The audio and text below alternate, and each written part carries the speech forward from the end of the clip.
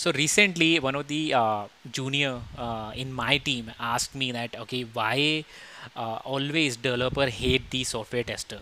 And uh, since uh, he he has recently joined the company and he has less than a year uh, in the software testing software testing uh, journey, right?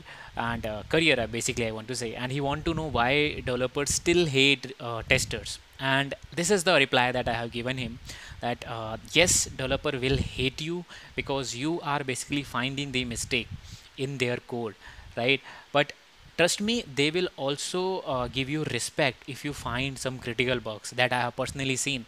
Uh, during my nine years of experience, eight, nine years of experience, I have seen people give respects if you find some awesome bugs or a breaking p0s right? So make sure you prepare and understand the application and raise important bugs okay? That's what developer want